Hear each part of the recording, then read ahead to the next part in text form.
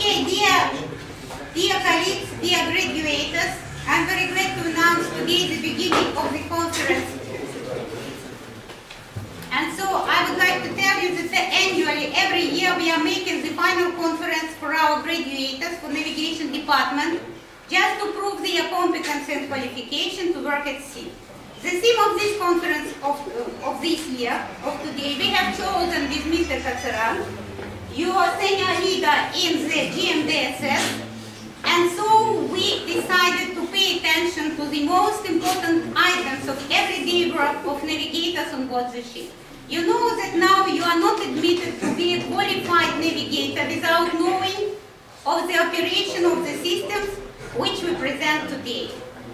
I want to meet also all our students who agreed to prepare at great extent information of GMDSS and ship's navigation system.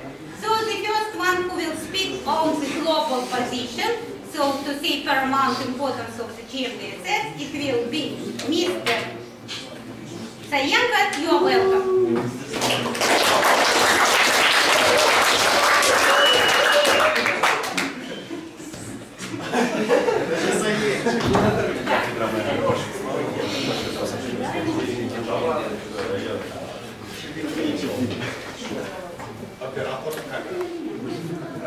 motor.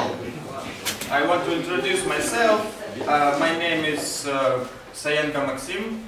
Uh, I am the cadet of uh, Force Course Navigation Department, uh, Global Maritime Distress and Safety System. Uh, the concept of a GMDSS began at the International Maritime Organization. The, requir the requirement for ships uh, to comply with the GMDSS is prescribed by SOLAS Chapter 4 and uh, applies to all passenger ships and all, pa- and all cargo ships uh, over 300 gross tonnage when on international voyages. The GMDSS has been constructed uh, according to the master plan published in the annual GMDSS. So you are welcome to have a seat here in the presidium. And we have a video registrator here. Editor, you Constantine, you know, yeah? Okay. uh, in the in the gym, in the IMO GMDSS handbook, uh, which describes uh, the entire system and the relevant uh, equipment standards. GMDSS communications between ships and uh, rescue coordination centers is carried out using satellite and terrestrial radio subsystems. Uh, many types of vessels, regardless of size, are not required to comply with GMDSS, even when on international voyages. Uh, the maritime communication procedures, GMDSS and non- non-GMDSS, uh, um, uh, are, are contained in the Radio Regulations 2008, uh, published by the International Telecommunication Union.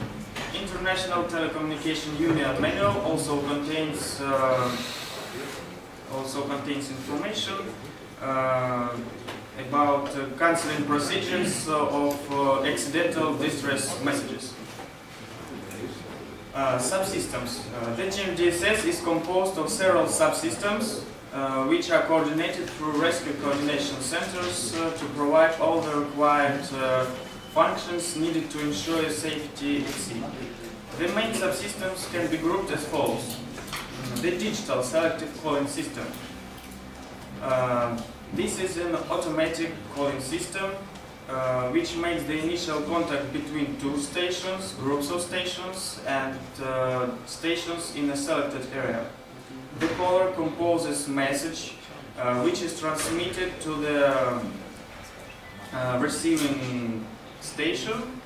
Uh, dedicated radio frequencies uh, uh, have been allocated for this purpose in the VHF, MF, and HF bands for short, medium, and long ranges, respectively.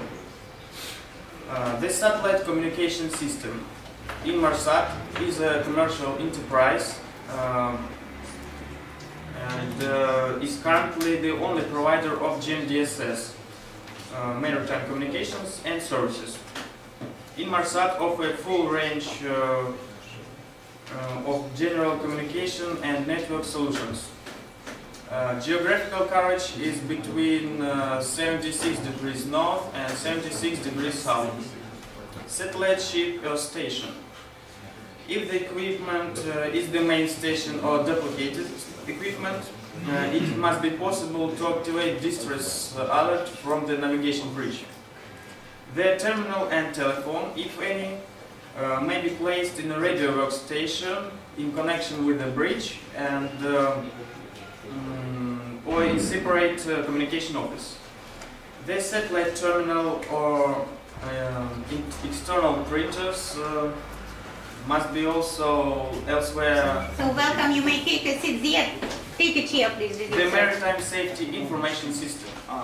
MSI contains uh, navigational and meteorological warnings, uh, meteorological forecasts, uh, and other urgent and safety-related messages uh, of importance to all vessels uh, at sea, and uh, may also include updates for electronic charts. Uh, broadcasts are by MF terminal, telex known as Navtex, and uh, uh, for local MSI, and by Inmarsat C or uh, HF telex for long range MSI. Uh, the EPIRB system, emergency position indicating radio beacon. Uh, all SOLAS compliant vessels are required to carry uh, an, uh, to carry an appropriate EPIRB. Uh, satellite uh, alerting by EPIRB um, is carried out through the COSPAS SARSAT network. The COSPAS SARSAT network uh, provides full global coverage via a series of satellites in polar orbit and uh, supplemented by additional series in geostationary orbit. The polar orbiting satellites uh, can determine position by Doppler method. The geostationary satellites relay a uh, signal with no delay. Uh, float-free EPIRB. Uh, this the float-free EPIRB um, should uh, should be located so that the following uh, requirements are fulfilled. First, the EPIRB should, uh, um, with great possible probability, float-free and avoid being caught on railings and superstructure, uh, etc. In the ship seas. Uh, and second, the EPIRB should be located so that it may be easily uh, released manually uh, and uh, brought to survival craft by one person.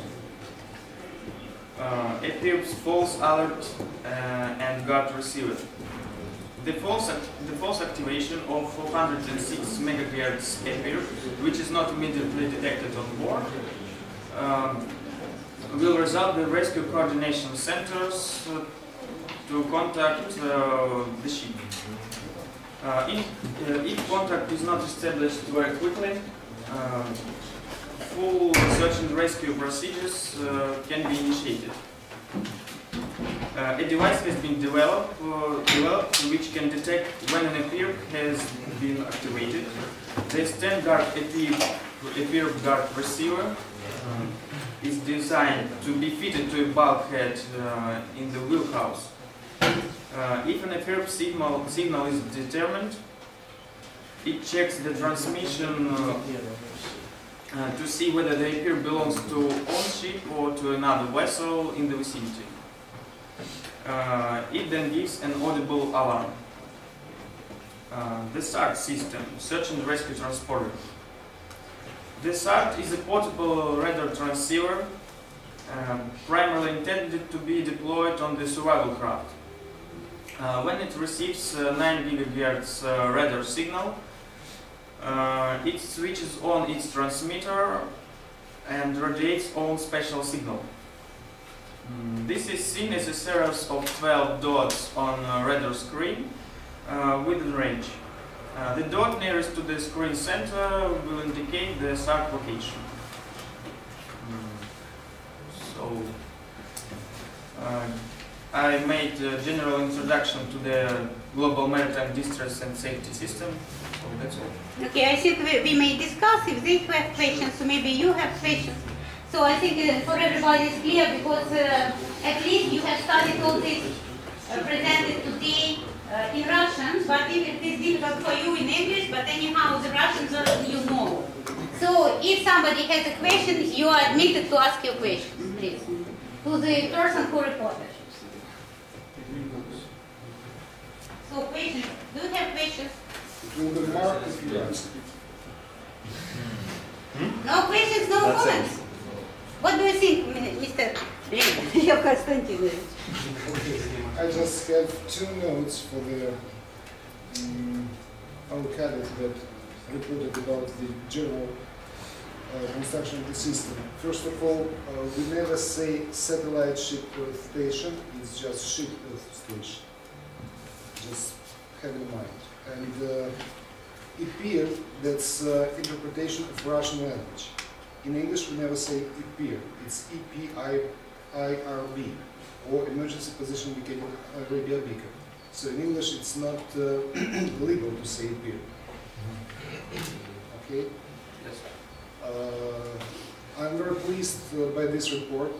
It was very informative, very brief, and uh, just in, uh, on the topic. So I'd rather want to hear some questions from the cadets because uh, the results of our previous control works were not so successful, and uh, it will be very good if they ask and uh, discuss what it has been reported just now. So go ahead and ask questions. Okay? So, Mr. Shibyak, do you have a question, please? Yes, I have a question about Inmarsat.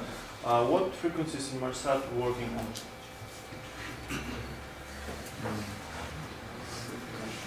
Who knows, may help? Who knows the frequencies? Yes, please. The Inmarsat system operated in the 1.5 gigahertz and 1.6 gigahertz. Is it right? Could you be Not more quite right. precise? Please? Who may say in short how we call the band? L in band. Russian? L band. L band. And now about the figures. 1.5 what? Gigahertz. Gigahertz. 1.5, 1.6.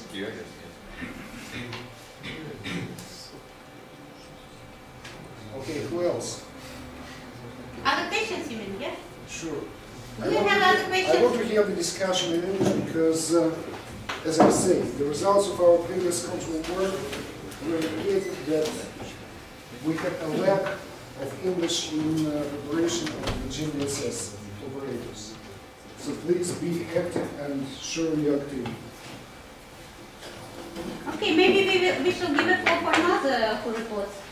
Maybe the other things they will discuss more vividly. Okay, thank you very much for your uh, report you, which you have exposed widely. And now we are welcome uh, the cadet of the first course, uh, also Mr. Sokov. Communication systems for use in the global system.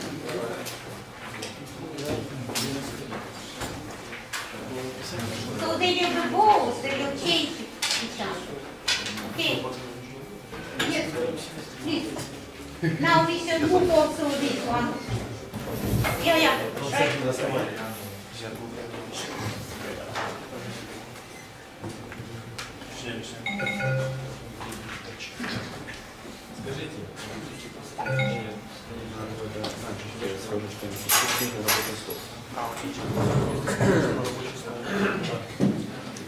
introduce myself. My name is Mitya Nolik.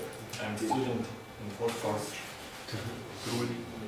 Global communication in the world system. Please start.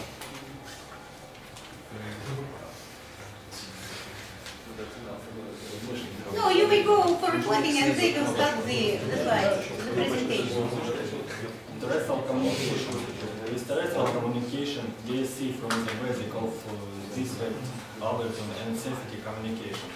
Listed and safety communication following a DSC call can be performed by radio telephony or direct printing telegraphy of both. Long range service. Use of IHF provides a long range service in both ship to shore and shore to ship direction in areas covered by Inmarsat. It can be used as an alternative to satellite communication and outside these areas and provide